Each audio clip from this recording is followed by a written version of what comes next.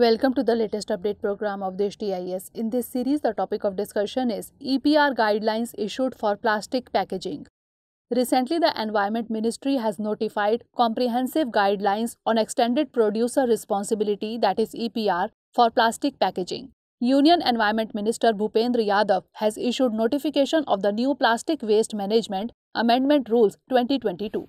These guidelines provide a framework to strengthen the economy of plastic packaging waste and promote the development of new alternatives to plastics. The new rules classify plastic into four categories. Category 1 Rigid plastic packaging. Category 2 Single layer or multi layer plastic sheets and covers made from it. Category 3 Multi layered plastic packaging. And Category 4 Plastic sheet or packaging plastic and carry bags made of compostable plastic.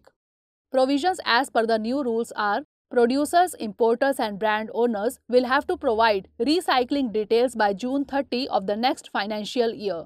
Recycling details will include the recycling certificate as well as the quantity sent for disposal.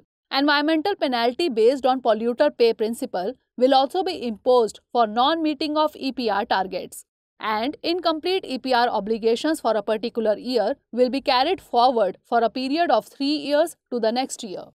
The Extended Producer Responsibility or EPR has been established under the Plastic Waste Management Rules 2016. EPR is a concept whereby producers are given a significant responsibility for the treatment or disposal of products after consumption. Dear viewers, watch this topic in Hindi on our Drishti IAS Hindi YouTube channel.